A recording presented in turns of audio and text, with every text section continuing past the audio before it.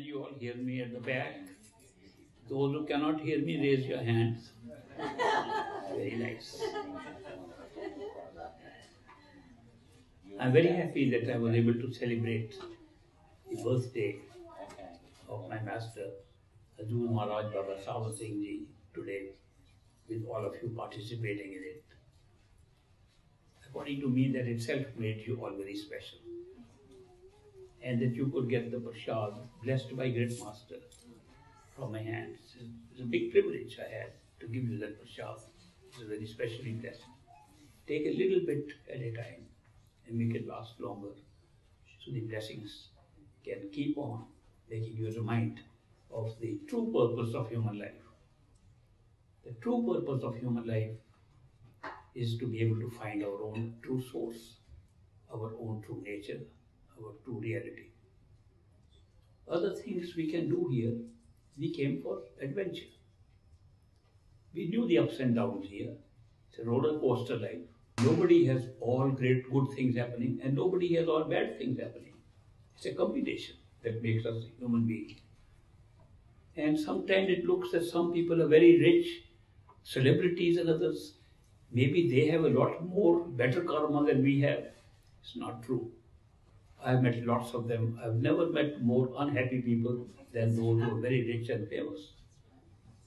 They are unhappy because of their terrible emotional reaction to divorces, separations, being ditched by the partners, which they think is far more important than all the wealth that they have got. And on the other hand, I've seen very poor people, very poor farmers, enjoying great happiness and health, which the rich people are striving for getting.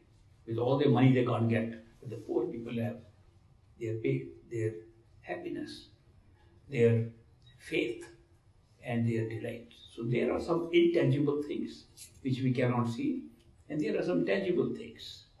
Those who have more tangible things have less intangible things, and those who have more intangible things, assets, they have fewer tangible assets. It looks like if you evaluate all of them, we are all pretty much very equal. It only looks different to us. So we are born here to pay off our debts. It's just an arrangement. An arrangement is you cannot be in a physical body without creating the conditions for becoming physical. And those conditions require that you have the use of free will. Is it really free? I'm not sure. but it appears to be free. Not only appears, it is experience of freedom. And that is what happens when a choice is given to us. Will you go right or left? You can't say I have no free will. You're bound to select. You say, I don't want to go, your free will. I want to go left, your free will. I want to go right, your free will. You cannot help exercising your free will. When you exercise your free will, you create what is called karma. Karma is not created by any event. Somebody accidentally hits you, there's no new karma created. It's a payoff. You must have hit that person somewhere in the past. So the whole idea that we have done good and bad deeds, who determined which was good and what was bad? Because society has been changing its norms, ethical norms of what is good and what is bad. Sometimes in the same life, people see what was good at one time is bad now, what was bad at one time is good now. So we have noticed over different cultures have different values of good and bad. Different religions, religions have prescribed different good and bad. And different times have changed what is good and bad. What is good and bad is what is held by our mind at any particular time. So our mind tells us this is bad. Maybe completely because of social pressures, because of environment. But when the mind accepts certain things as good and certain things as bad, and does something which the mind believes is good, is rewarded. If the mind does something which it believes to be bad, it's punished. That's the law of karma. It's working all the time. And it is because of the combination of this thing we become human. Supposing in a particular life you were very careful not to do anything bad, not to succumb to any temptation, not to do anything that you would consider evil, and had all good karma, you wouldn't be here. You'd be in heaven. That's the reward of that kind of karma. Supposing you did everything bad, everything evil, you would not be here. You'd be in hell. And those heavens and hells exist in the astral plane. And you can go and see what's happening there. People are being rewarded and punished almost on the same lines as we reward and punish people here.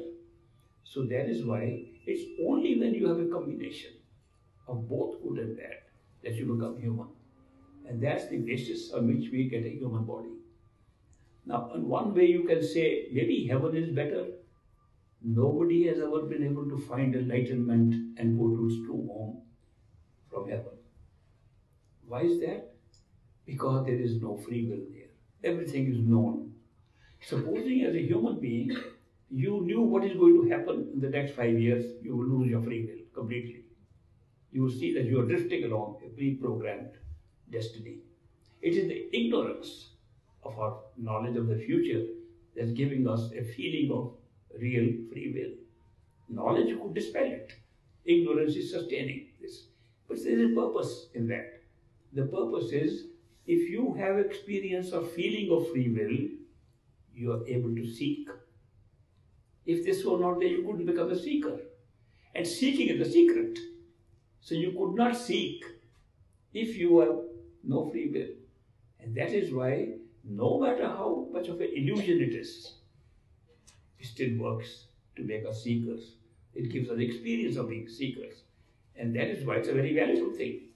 Now, this particular feature, having an experience of making choices with free will, exists only in the human life. It does not exist among plants, trees, dogs, cats, animals. They don't make choices like that. They instinctively react to everything. Instincts are built in and they react. We also react instinctively in most things. 80% of our life is run instinctively. Only 20% we make decisions. But those 20% account for so much decision making, so many choices and intentions we express that we gather a lot of momentum of karma to get future lives. So that is how my life is. Even angels don't have free will because they know the future. When you have full knowledge, you cannot have free will. So it's a unique situation. In Indian literature, they have listed 8.4 million, Charasi 8.4 million forms of life. And when this form of life, it has a soul. Same soul, Souls are not different. Soul don't have different faces and different characters and so on. Soul is a unit of consciousness. Soul is what gives life. Soul makes our mind alive and thinks. Soul makes our sense perceptions alive and we can see, touch, taste, smell. Soul makes our body alive. Life cannot exist without a soul. And soul is one unit of consciousness. And therefore, it's the soul that's experiencing a variety of things like these covers. And we came here for an adventure. And we have the ability to go back in a human life. So I'm very happy that we have this great blessing of having a human life in which we can seek. And if you seek, you will find. It's simple. If you, whatever you seek, you will eventually find. But if you seek the ultimate truth, your true home, totality of consciousness, you will get that. It is in that case when you are seeking the ultimate that a perfect living master comes into your life. But there can be many masters coming into your life. There are masters who take you. There are, according to our spiritual Vedas, there are four, four masters everybody has. The mother is the first master. She teaches you how to grow. She takes care of you. The school teacher is also a master. He teaches you with education by which you can understand things better, you can read books. And the pastor or the or the priest or the Maulvi or the Pandit in the temples, they are also masters. They teach us their own things. How to religion has taught you the existence of a superpower, And eventually, the spiritual masters who come to take you according to your seeking. Many masters exist today who take you up to the astral plane. And when you reach the astral plane, all the heavens are there, and you feel this is the destination from which everything was born, which is true. If you compare the heavens and what is available there, and then compare them with the physical world, you will feel this is just a copy from there, a gross but material copy of the heavens which are not material. Many masters think that is the end of it. There are some who say no. So long as we are bound by karma and the paying of our karma, whether in the physical plane or the astral plane, we have not found the truth. Truth will be when we find the secret where karma is created. So they can take you one step higher to the causal plane where you find all karma is created there. The mind is created there. And everything on the mind is created there. Time is created there. Space is created there. And that's the same thing we experience in the astral and physical worlds. It's good to know that. But then they think that's the end of it. And when they try to make effort to do something, that's the maximum they can reach. Nobody has ever gone beyond the causal plane of the mind by effort. Because effort is always involving the mind. You cannot use the mind to go beyond the mind. And that is why it's a limit. There's a limit how far one can go by effort. So what happens after that? That is, that is the limit. And we are trying very hard something. The harder you try, the more you are limited. So then the pathway becomes effortless. It has to be effortless to go beyond that. Now, effortless does not mean that you can do anything about it, otherwise it wouldn't be called effortless. A friend of mine wrote a letter to me many years ago. He said, I have discovered that the truth lies beyond effort and it has to be achieved by effortless meditation. So now I'm going to try very hard for effortless meditation. you can contradict yourself. The mind thinks that is normal, that everything has to be done with your struggle, with your effort. And that is why we think effortless meditation can be achieved by your effort. It cannot be done. How is effortless meditation done? Same way, like we have effortless experiences in this world. What kind of effortless experience? Most beautiful experience is the experience of being loved. When you're loved or you fall in love, is there any effort involved? Never. There's no effort. There can be effort if you're trying to attach yourself. There can be effort if you're trying to make friends. But the experience of love is always effortless. It's the same experience that takes you beyond the mind. Somebody, something must be there beyond the mind to pull you with love. And that love will take you beyond the mind. And these perfect living masters, like my master, they are love personified. You be in their company and spend time with them, you will know what love is. They pull you in a strange way. The mind cannot understand it. So that is why it's that love. They take you from here. They influence you with their love. They have not come to teach anything. There are too many teachers already. They come to take the marked souls back home. Who is a marked soul? A marked soul is some human being who has decided it's time for me to go to my true home and is fed up with this and is ready. That's a soul. And because we are living in time and space, human beings have limited life. Therefore, these masters come again and again for the marked souls in their own lifetime and in our lifetime. So they match our lifetime, and when a soul is ready to go back home, they come and pick up the soul and take it back. When a perfect living master says, I accept you, you are initiated, I will take you back home, our journey ends. Mind doesn't believe it. Then they say, meditate, you believe it. Then they say, do all these things, make effort, do all those things to believe it. So you can see something. Because the mind says, I want proof, I want proof, I can't believe without it. Okay, find the proof. It does not mean that our journey is interrupted.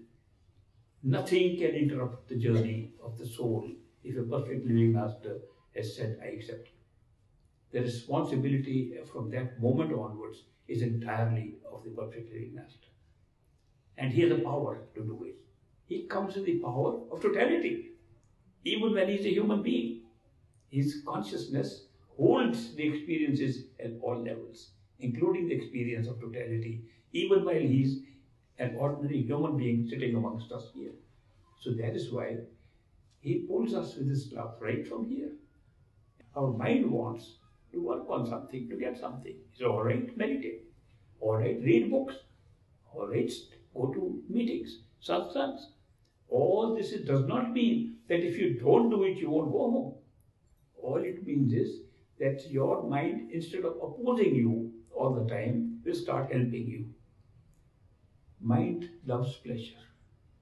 Mind loves all kinds of pleasure, designed like that. Apart from doubting and fearing, it also wants pleasure. It seeks pleasure of every kind, whether it's uh, eating food, or it's having sex, or it's having any other kind of travel, going to the beaches, all kinds of things which the mind thinks is pleasurable, it seeks. Therefore, the mind's search for pleasure is always outside, outside of ourselves. The spiritual path says truth is inside, inside the three bodies. Mind is taking us out. Therefore, only at a time in meditation, in the practice of the spiritual path, we reach a point when the attractions inside are more than the attractions outside, and the mind becomes our friend from being our enemy. Right now, it's our enemy. He doesn't want us to go and meditate. You'll notice that when you try to meditate, sleep comes very quickly. I was once doing myself uh, conducting a meditation workshop many years ago, and I was tired, I think. But I had closed your eyes, everybody closed their eyes, and I could hear myself snoring. I opened my eyes, everybody was staring. What's going on?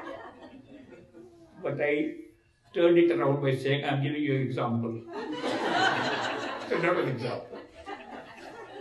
People tell me that when they meditate, they feel so sleepy. Some people can give up their sleeping pills and just meditate and get good sleep. So the mind, it is the mind trying to avoid our journey within, trying to avoid our attention going inside and keeping it outside. When the mind can go up to a point through meditation, through effort, it can go to a and begin to enjoy inside, it becomes our friend and wants us to meditate. And that's a very big change. Then the mind says, why not meditate? I have some time now, let's meditate. That happens at a certain point in our life. So this is all designed like that, that our spiritual experience on the spiritual path should be like that in these steps. So I'm very happy to share all this with you. I am sharing it from the teachings and practice of this man whose birthday we celebrate. This is not from books. Sometimes people tell me, show me where, where it's written in the books. And I feel not lost, I have not read the books. Read very few books. I only read books when they tell me there's something, show us in the book, and then I have to read it to tell them where it is. Otherwise, books are good to get basic knowledge. Books have never taken anybody to enlightenment. You can read all the books of the world. It does not mean that you get enlightened you get more information and on top of it, more contradictions. You find the books are so contradictory. There's a book called Spiritual Gems. It's a collection of letters written by American seekers or written by great master, this master to his American disciples. And people read the book. In one letter he says, you have to work hard meditate more. Without meditation of at least two and a half hours, and if possible more than that, you will not achieve anything. One letter. Second letter says, Meditation is not going to take you there. It's the love and devotion that will ever take you there. Third letter. You can neither meditate nor have love and devotion without the grace of the Master. All three contradicting each other by the same Master, written to three different people. Those people needed the replies that he sent. Now, when we read a book like that and start applying to ourselves, which one is applicable to us? None of them. They were designed for those people. Perfect living masters do not deal with everybody the same way. They know exactly at what level they are. And that is why they deal with each person, each seeker separately. And it's customized. This path is not a general path that anybody can read and go with it. It's customized to our own situation. We are not all at the same levels of our search and our seeking. Some are more advanced. Some have done a lot of work in past lives and from childhood. They are already having great interest in spiritual path. Some get it only toward the end of their life and then die and carry it on the next life. So we are at different stages. When the perfect living master looks at us, he's not looking into our face, he's looking into our entire karmic history. He knows entirely where we are at this time and what we need at that time. And he gives exactly what we need at that time. This is a unique thing, therefore, you cannot use something said to somebody else as a lesson for you. You must have your own experience. If you cannot have experience outside with a living physical form of a master, you can have it inside. When a master accepts us, initiates us, he settles himself completely inside us and accessible to us at all times. It's not, not a simple thing. Initiation is a very big thing. Initiation means that you have now the master whom you saw outside as a physical human being, inside you from that moment, accessible in that form. Master ultimately has no form. It's like the soul, like ourselves. But in order to guide us inside, he takes a form outside and he embeds the same form inside us. So when we meditate, we can have access to it. It requires some meditation. It requires more meditation if we are more involved in worldly activities. And it can be less meditation if we are already sufficiently detached, just doing our duties, our dharma. Karma creates our duties, dharma is pay off our duties. If we live a life like that, then it's easier to get the inside information, inside vision of the Master. When you can stabilize the vision inside, it comes and goes. Sometimes comes, sometimes stays longer. If you practice and you feel the pull of love of a master, you will practice more automatically. And when it gets stabilized, it is just like having a conversation with the master in a human form outside. He'll be with you all the time, 24 7. A great experience to have somebody with you all the time, somebody who's taking care of you all the time people suffer so much from loneliness. And I know one certain thing when you have the Master manifested inside, loneliness goes away forever. You cannot be lonely after that. this is a great, great thing. So remember, the initiation by a master is the final step. After that, it's, it's just fulfilling something, obligation to our mind, obligation to our karma, obligation to duty that we have to perform here. And we go through them, ultimately, it takes us back home. I'll take up a few questions that Jonathan says people have left with you. They have. Is the Satguru on the physical plane the same for a soul in the Sachkhand? Is the Satguru on the physical plane the same for a soul in the Sachkhand? Absolutely yes. You want a? He just gave the right answer.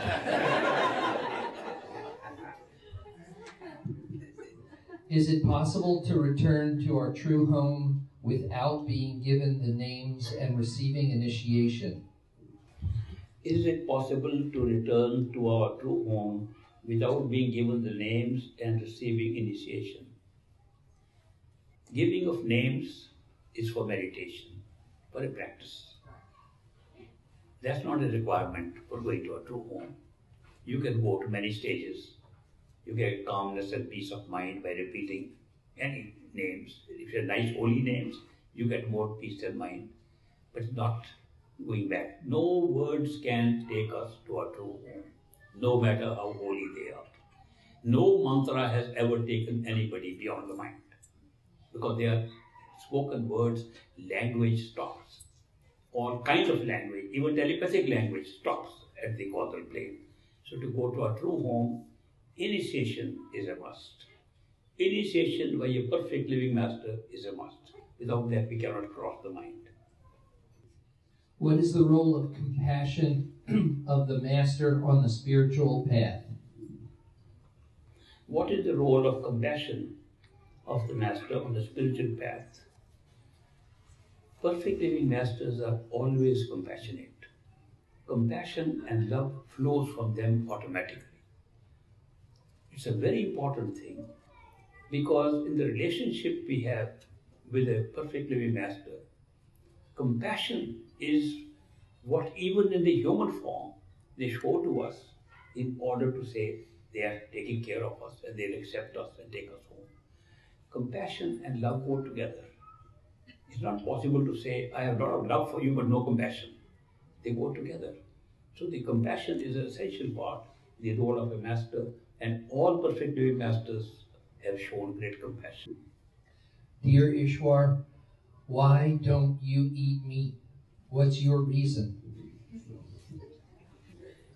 Why don't you eat meat? What's your reason? Reason is I'm a vegetarian.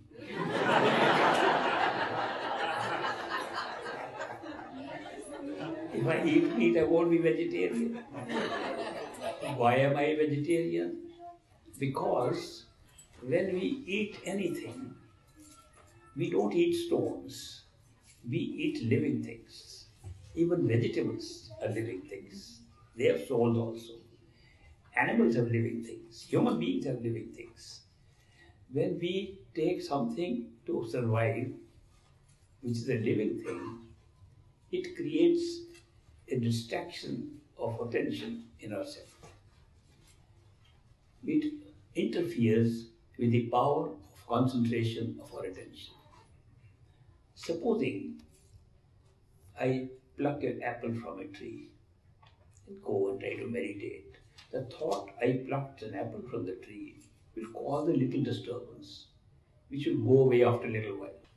Supposing I kill an animal and try to read a book which I was reading at a certain rate beforehand, like say a minute a page, I was reading the book, and I kill somebody and read the book, you cannot read it a minute a page, you start taking two, three minutes your power of concentrating on the book will be lessened.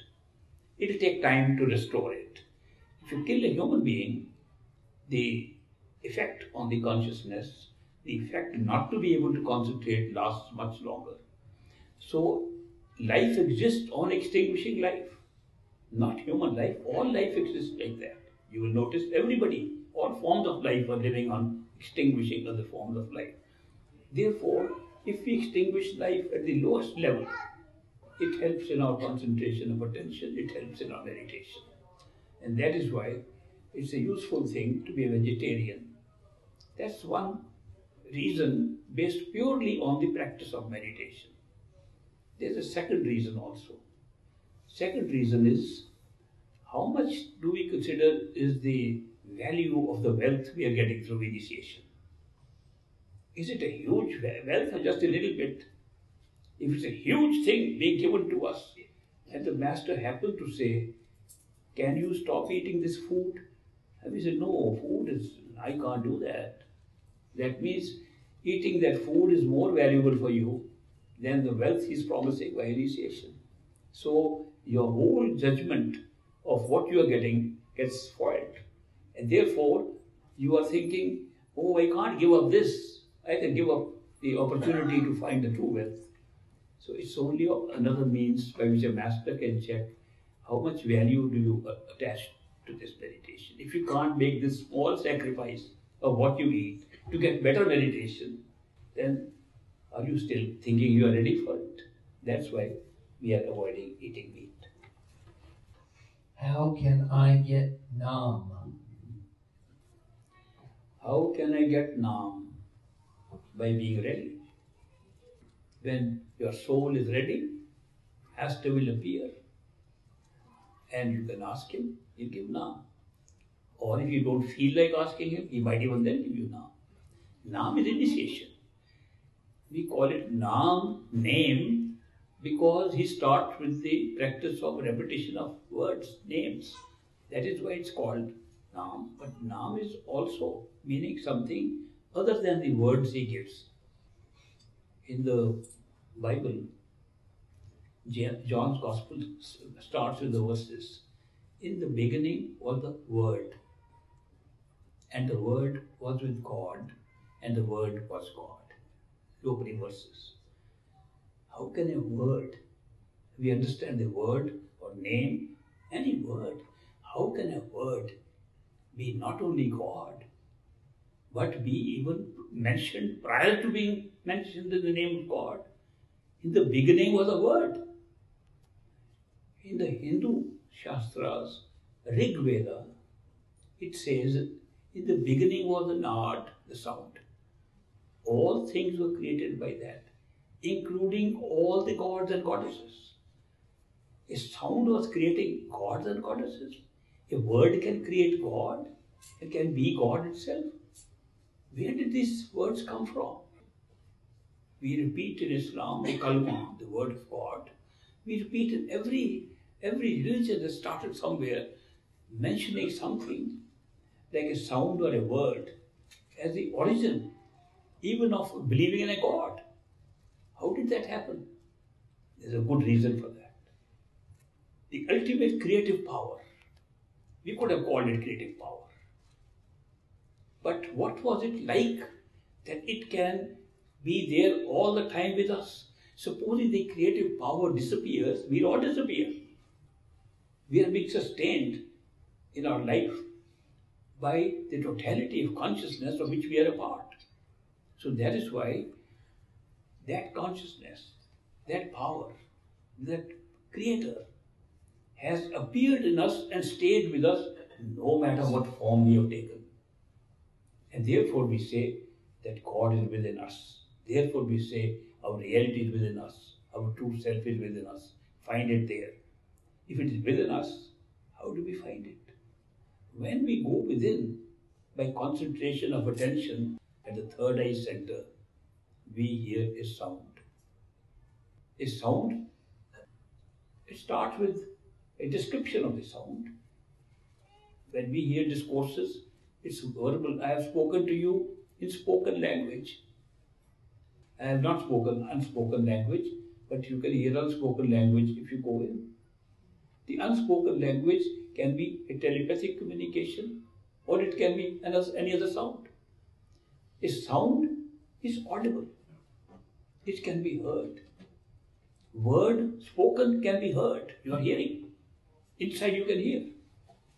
Thoughts you can hear. So, hearing or being audible is part of our consciousness. Now we start by listening to a sound, and that sound does not get interrupted even if we reach the ultimate from where it originated. Because it is audible and we can hear it right here, it, it is called the audible sound current. But the audible sound current is connecting us with the ultimate creative power and uninterrupted. The spectacle we see the, outer experience we see keeps on changing. When we go to sleep, dream state is different from waking state because we forget where our body is. We don't have physical body, we're sleeping. We have a dream body. But notice that in the dream body and this physical body, the self is the same. You cannot say somebody else was dreaming. The same self was dreaming, the same self has woken up, the same self goes up to the astral plane, the same self goes up the higher plane, the same self goes all the way to our totality. Self never changes. Everything else changes except the self. And what the connection of the self? That it can be heard. Your own self can be heard at this level inside, like a sound. That is why particular yoga, the particular union with the ultimate creator, ultimate reality, has been called by this master and all other masters of that level as the Surat Shabda Yoga, the yoga of the attention, Surat Shabd, sound. Put attention on the sound within, and you are on the way. And this sound will be continuous at every level. It changes form. In physical terms, it is a physical spoken sound. I am speaking to you. If you never heard, you would never know anything about what is inside. This is called Varnatmak Shabd. That means a sound that can be spoken and written. When you go inside, you hear a musical sound. A sound that is a kind of a vibration inside that cannot be written or spoken like we do this sound. So we call it the Dhunatmak Shabd. A sound in the form of a dhun or a melody. We go higher up and the sound changes. In the astral plane, it is dhunatma. In the causal plane, it becomes like it's an endless sound. That when you enter it, it doesn't look like you just started hearing it. When you enter, you find you were always hearing it. It's a great experience to find something going on already and you just left it to go back. I was always hearing that. The sound, same sound, is then called Anhad Shabd. Anhad means no limits. It's infinite, both ways. And you can still go further. It's still considered a sound but it's changing into a more powerful sound where you know it's a creative power itself. You begin to appreciate it in the causal plane. When you are pulled by love beyond, beyond Brahma, beyond the creative power, beyond into Parabrahma, what they call Parabrahma, beyond the mental level, you go beyond that, the same sound becomes your own reality. You discover there was no difference between your soul and that sound. And that's called Sar Shabd. Sar Shabd is used, real sound, which is your reality. And when you go beyond into the totality, they call it Sat Shabd or true. Sat Nam, true Shabd. Because that's from where the whole thing is happening. Because it is audible at this level, that is why it's been called the word or sound. So, you can get the true sound by getting initiation and you get initiation when you're ready for it. When you're seeking reaches a point when you say, I've had enough of this. It's necessary. Supposing you say, I want more of this, you will get more of it. You say, No, I want to be initiated, but I want to have some good fun, good time here. First, have good time. Why are you in a hurry? You lived here so long, so many lifetimes, don't remember any. And why are you not in a hurry? When you feel, no, I have, I have had enough of it. I've seen the ups and downs here. It's no more for me. You are ready. At that time, you can get the initiation. And that is how, when you're ready, you get Nam or the word. Was that long enough answer?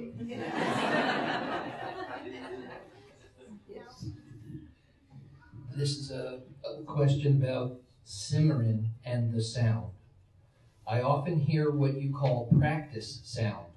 I'm afraid to stop doing Simran because sometimes the sound is on the right, sometimes above, and sometimes from the left side. I am confused about doing Simran while hearing sound. I often hear what you say about practice sound. I'm afraid to stop doing Simran because sometimes the sound is on the right, sometimes above, and sometimes from the left side. I am confused about doing Simran while hearing sound. A very practical question about meditation, and must be the question which many people face. So I'm very happy that somebody has asked this question. When we meditate, we are supposed to put our attention where we are we are behind the eyes at the third eye center, right in the center of the head. That's from where our consciousness is generating attention and is going out through eyes and through body. Since we are in the center, the purpose of hearing the sound is to reach yourself at the center. That's the main purpose of hearing the sound. While our mind's attention is outside and we are thinking so many things about outside, we can't even hear the sound. When we start, then sounds can start coming in. Many of the sounds are not spiritual sounds at all. Sounds can be created through attentive listening from the flow of your blood in the vein, in the arteries. Sound can be created by physiological reasons. And therefore, several sounds can be heard, some from the left, some from the right, and some maybe from the middle. Now, those sounds, supposing you cannot hear any sound, Simran is also a sound to be listened to. Simran is not merely repetition. As I said in the morning, Simran should be listened to. You repeat with the mind and listen with your soul. So attention, pay attention on listening to the Simran. Therefore, Simran should never be done in a hurry. It should be done slowly, every word being listened to carefully to make it effective. The secret is listening, not speaking. So when you have this uh, practice of listening to Simran, sound starts coming. Some of these sounds which are not spiritual, they don't pull you anywhere. It's just an experience. I call them practice sounds. Because even listening to a practice sound at least draws your attention somewhere in the head, though not at the right place. If the sound comes from the left, listen to it. Comes from the right, listen to it. Comes from both sides, prefer the right. Why would that suggested to prefer the right? Because the brain is so designed the intuitive part of us, which would be called the spiritual part of us, is located at that side, and the rational part is located on the other side. It's merely a physiology of the head that creates a better condition for you to be intuitive if you listen to the right. It does not mean that left sound or right sound is either spiritual or will pull you. It doesn't. Ultimate sound that you will notice you have a variety of sounds coming in. And then you can pick and choose or play with them. You play this sound you hear, another sound, some is distant, some are near. Generally, the sound coming from the center is at a distance. And the sounds coming from the sides, which are many bodily sounds, they come from the right and left. If you can hear sounds on both sides, prefer right. If you can hear a sound in the middle, concentrate your attention on that only. When the sound from the middle comes, it will look like it's coming right from yourself. That's where you are. This sound is not coming from anywhere except your own soul. The sound is coming from yourself, the true self, which remains the true self at all times, even when we reach our true home. So the self is generating that radiance of sound, it's generating that. The same self will generate light. Light and sound look different to us here, at some point in meditation, they'll become one. Sound and light will be looking like the same thing and will be experienced like the same thing. And they are both being generated by your own self. And therefore, the right place to listen to the sound is in the center. And when you find that the sound from the right side is very close to you, louder, and sound from the center is very weak, try to shift your attention from the louder sound to the weaker sound because that's a sound coming from the center. Ultimately, put all your attention on the sound coming from the center, is coming from yourself, which you're trying to reach. When we say meditate to go to within, we are going within to our own self, not somewhere else. So that is why that sound which comes from the self, the middle, sometimes it appears it's coming from above. It's coming from center here and above. This is the right place to listen to the sound. When you get that sound, you need not repeat the words of Simran, which are just Varnatmak Shabd, just spoken Shabd. And you should listen to the other sound, which is Dhunatmak Shabd. So, supposing the sound becomes weak, go back to the repetition of the words. If you feel you are not sure of the sound, keep on repeating the words. So it's a play between the two. If the real sound comes, it will pull you. Real sound sound starts like it's very similar to the sound of a bell. Mm-hmm. Not necessarily the small bell, ting, ting, ting, not like that. The big bell, which strikes and carries a peal over a long time. And when you listen, the peal becomes longer. So sometimes you feel it not like a bell because you're listening to the peal of the bell. It's the same sound. So when such a sound comes from the center, concentrate your attention on that sound. If you try to repeat the Simran, you'll be distracted at that time. That is it's advised when the sound comes, it seems to pull your attention from the body much faster than any effort that you can make. So that is what it's recommended. That's why it's called the Shabd Yoga. That is yoga, union with the truth through listening to the sound. So when the sound has a pull in it, concentrate only on that. If it is halfway somewhere practice sounds, you can switch between Simran and sound to make it ultimately hearing this weak sound, it becomes strong sound. Bell like, it becomes a continuous sound, and then it changes. But the main thing will be it will start pulling your attention and making you forget where your hands and feet are faster than any effort that you make yourself. Can you do meditation while doing other things? Can you do meditation while doing other things? Of course. Meditation in its first steps are repeating words. You are cooking, you can keep on repeating words. You are walking, you can keep repeating words. How often should you do meditation? This some question was asked from Great Master. He said, if you do worldly things more than meditation, then you will be in the world. You should do more meditation than worldly things. So the questioner said, How is that possible? I have obligations, I have duties to do my jobs, and I have to work to maintain my family. I have to do all those things. I have to look after my children. How can I be meditating more? You say meditate two and a half hours out of 24, even that is so hard. And now you're suggesting I should meditate more than that. He said you should meditate 21 and a half hours and do worldly work for two and a half. And then he explained how it can be done. He said, if you can practice the repetition of the words at all times when you can find the time, which is all the time you are walking, driving, doing anything else, repetition of the words is by the mind, not by the tongue. Repetition by tongue doesn't help.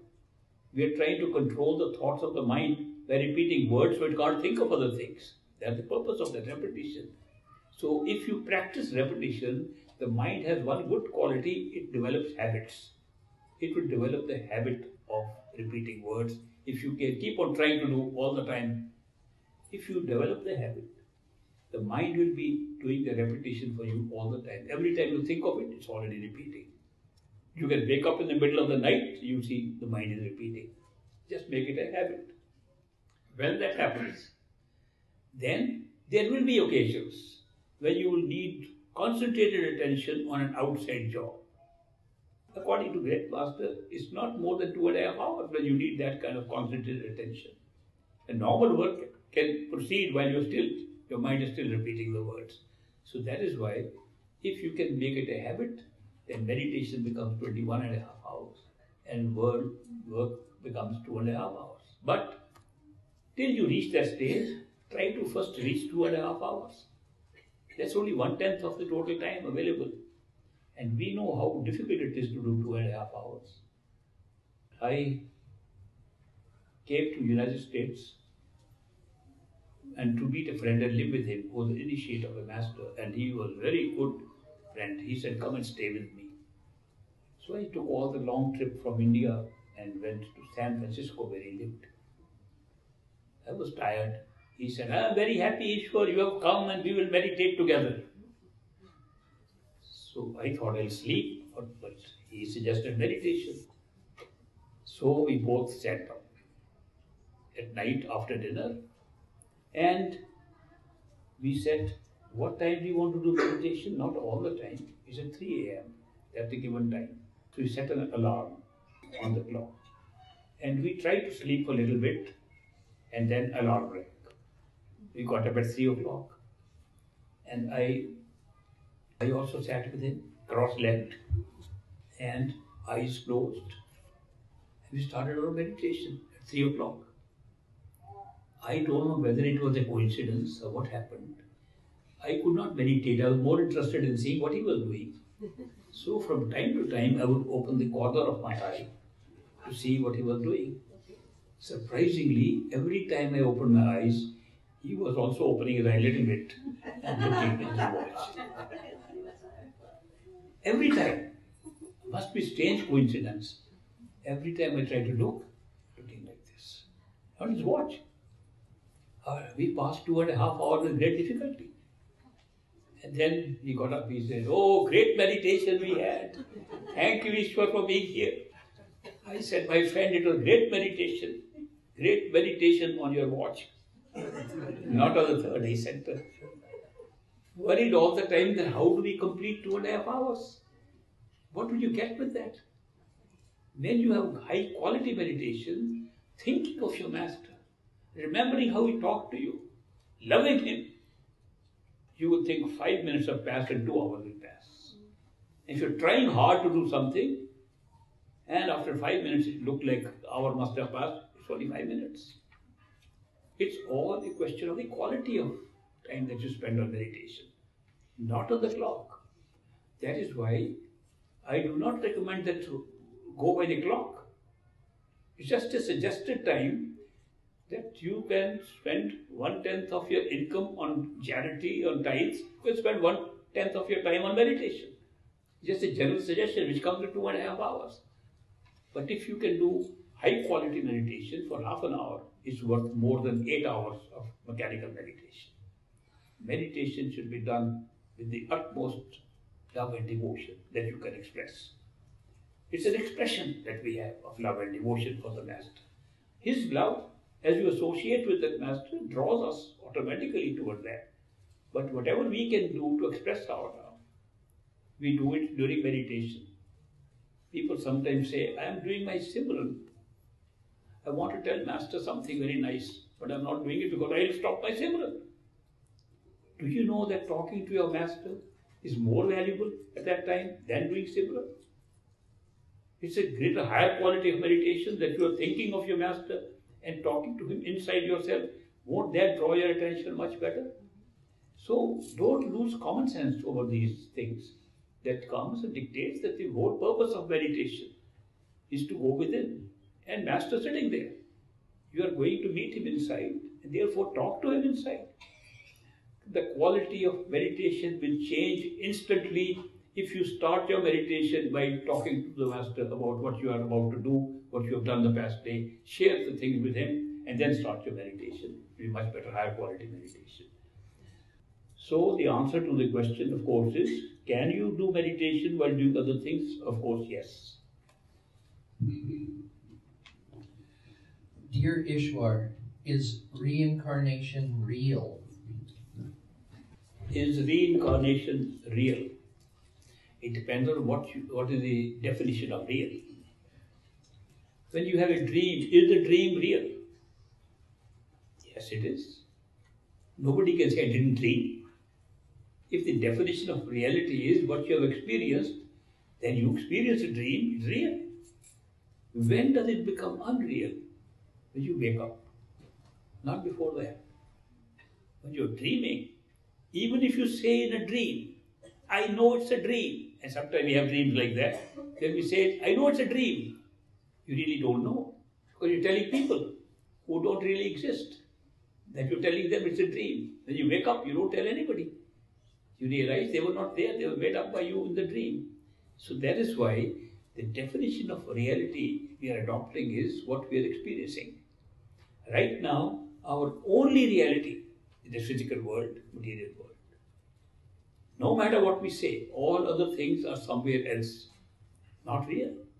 When we wake up to those levels, they'll become real. This will become dreamlike. But till then, this is dream, this is real. Is reincarnation real? Let me put this question a little differently. If we were living in our true home and came for the first time into this world, how did we get our karma? If the physical body cannot be made up without karma, how did we make up the first physical body when we came first time? Obviously, when we came first time, we picked up a package of karma which had a past life. Programmed, not lived. We never lived that. It's a programmed. In order to create this, that means we cannot pick up just one life without picking up a whole sequence of past lives. How many past lives? Infinite. To create each life, we need past life. We pick up a package to live one life, and we are picking up so many past lives which we have never lived. We are picking up so many future lives which we have never lived. And we may go back home in the very first life, and there will be past lives and future lives we never lived. So it's just an experience of generated, of creating an experience, physical experience of past lives and future lives. But supposing once we come here and we live a second life after that, then this becomes real, reincarnation becomes real.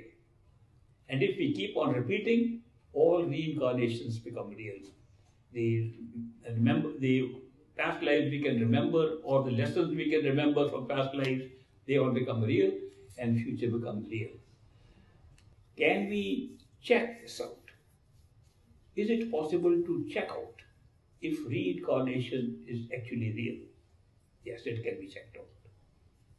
The only way we check out things when we check out, did we come into this hall? We are not coming now. We came into this hall earlier.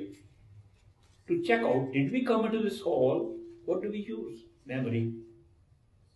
That's the only way we have to check out. Did we come into this hall? Yes, a memory. When you go to the causal level, you can remember all your past lives. And there you know for certainty that reincarnation is real for the system of creation that we are in right now. And therefore, it's only necessary to go to that point where you can remember. I want to tell you something very interesting for those who are deeply interested in understanding how we live. We live here in time. There's a past and a present and a future. Reincarnation is only possible if we live in this kind of time frame. Supposing we live in zero time, there will be no reincarnation. Our reality is in zero time and therefore no reincarnation there. But over here we are living in time. And this time is feeling us, making us feel we have a real past, a real present, and a real future. Let's examine this. Let's examine present first of all. How much time is there in the present? When I start speaking, it's future. When I spoken, it's past. When was it present? Do you know the present or now has no time at all? Yet we feel it as time. How can we feel we are living in time when the present is zero time? It's just a joining together of the past and the future. Zero time. So how can we say that now we are living in time when the only time we can live in is now? Somebody presented a book to me by an author saying, Power of Now, live in the now. The whole message was, live in the now. I said, I want to meet any person in the world who is not living in the now. Everybody is living in the now. They know the place to know the time to live in, except the now. They're all having now all the time. So, and now have no time. How can we experience something that has no time at all? The reason is very simple. The immediate past we are calling present. Just what has just happened we are calling present. It's not truly present. There's no present. Present there's no time. The immediate past is being called present and now. And therefore, how can you experience past? What has already happened, is there any other way to experience except by memory? No, there's no other way. Recall of memory is the only way we can go and remember the past. And we can relive the past, but only through memory. What about future? Is the future real?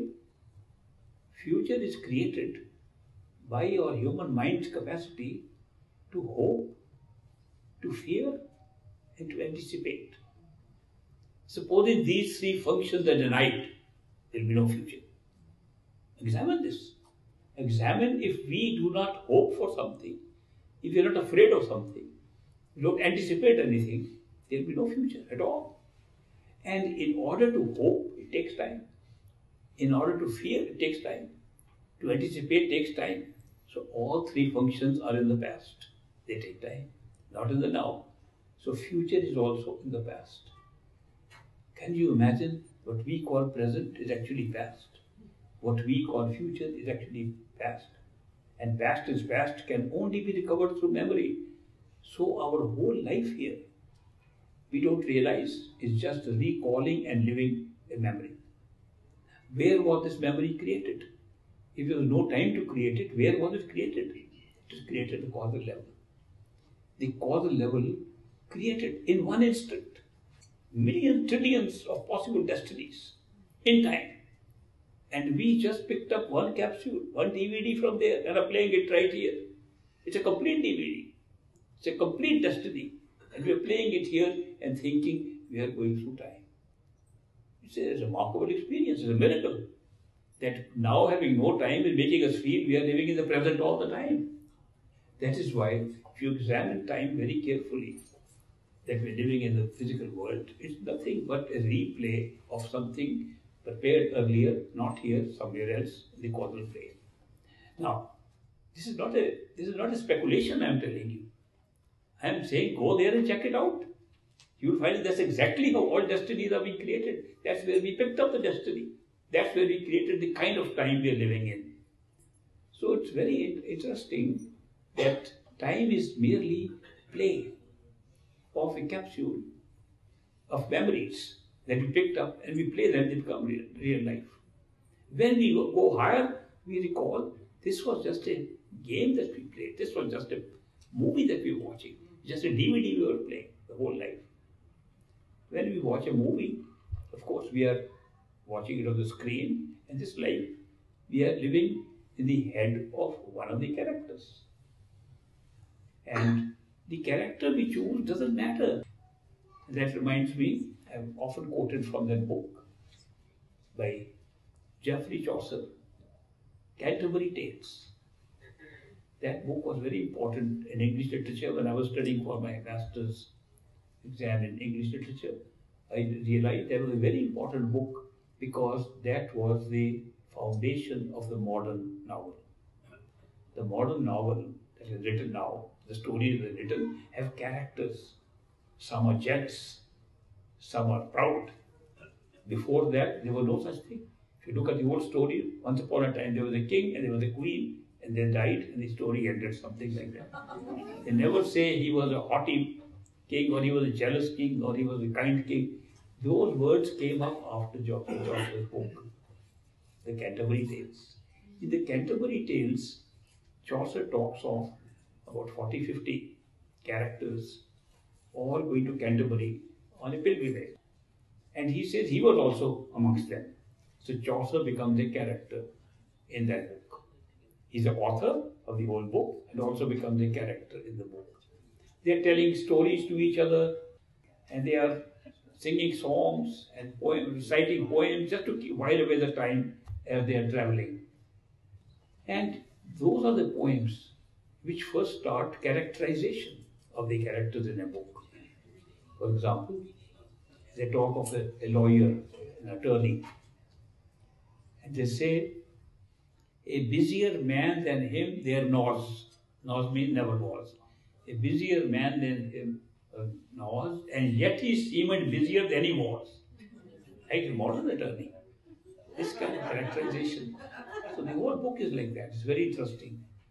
In the book, the other characters say, Chaucer, you are a great poet, you are a great writer. He's written all the poetry in the book. Come on, give us some nice poem. Chaucer says, I don't know any poetry. Say, no, come on, we know you are a great poet. How can you say that? Give us some nice poem. And Chaucer gives the worst doggerel rhyme in the whole. And all the other characters criticize him. Oh, we didn't expect that from you why has Chaucer decided to write a book in which he becomes a character insulted by the other character that he himself has created? This has been compared sometimes with crucifixion of Jesus Christ. Jesus Christ was Son of Father, one with the Father, the Creator, and he is crucified by his own creation. How can that be? The answer is very simple. At the level of the author, Chaucer was all character, not one. He was all the characters. By participating in the head of one character made no difference to him so long as he knew he was the author. Jesus Christ knew he was one with the Creator. It didn't matter who crucified him to create the passion for seeking, and therefore he was constantly aware of that. When we are aware of our true reality, it doesn't matter which character we go into. It doesn't matter at all. We are all characters. At this time, we don't know that. At this time, we've isolated ourselves as a character in the movie. But when we find our authorship of this whole creation, then we discover it didn't matter at all which one we had. It's a very interesting way how this has been arranged. And reincarnation and coming into separate lives is a created experience. If you go above the mind, what will happen? You go above the mind, you find everything was merely created for experience. Nothing was real. You were real. The experiencer was real, but not the experience, no matter what experience. The experiencer is always real. I am holding this cup of water, very beautiful. It resembles the cup that Great Master used to drink water from, a silver cup. I am holding it. I am questioning, is the cup real? Yes. How do I test it is real? I can touch it. Is the water in the cup real? Very nice sweet water. I had just a real taste of it. Somebody says, No, it's not real. I say, You don't know anything. I'm experiencing it. I'm experiencing the reality of this cup. I'm experiencing the reality of the water. How can you say it's not real? He said, Actually, it's not real. Gives an example. Supposing I have the same cup in my dream, and I pick up the same cup, just like I demonstrated now, and I have the same taste of the water. Is the cup real? Drinking is real. I have the taste. Touching the cup was real. I touched it. I wake up. Neither the cup was real nor the water was real. Experience was real. This world is exactly like that. Experiences are creating our reality.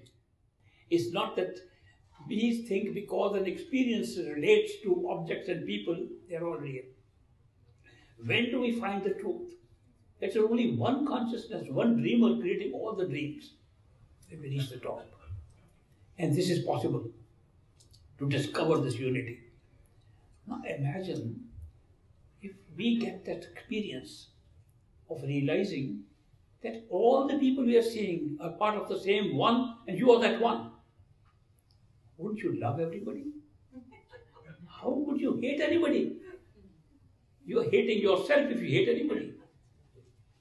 If, if you call that creative power God, you're hating God if you hate anybody. And that comes immediately into your awareness. That ultimately the whole thing is being created from that one spot. And the doorway to that spot lies within us at the third eye center. What a beautiful opportunity to discover this truth. And you'll be loving everybody if you have even half experience. Full experience, of course, gives you total awareness, total knowledge of how this is all created. If the source of creation comes into knowledge, but even without that, your compassion and love will be automatic. You are denied it's what automatically flow. So that is why these perfect living masters are constantly automatically loving us and there is no judgment involved. When they look at a person, person says, I am very bad. I don't deserve anything. They look at us and they hug us and they love us. And we say, I don't deserve it. They are not looking at our deserving or not deserving. They are looking at our seeking. That we are seeking the truth for which they have appeared in our life. That is why seeking supersedes everything else. You're seeking of the truth, of the ultimate true home. You seek the true home, you will find the perfect living master who will take you back home. If he says, I accept you, your journey has ended. His work has begun. And he'll take you himself. He'll make you go through things for the sake of your mind. Don't take it very seriously. Okay, thank you very much for such patient listening again. And I have little time for some for master.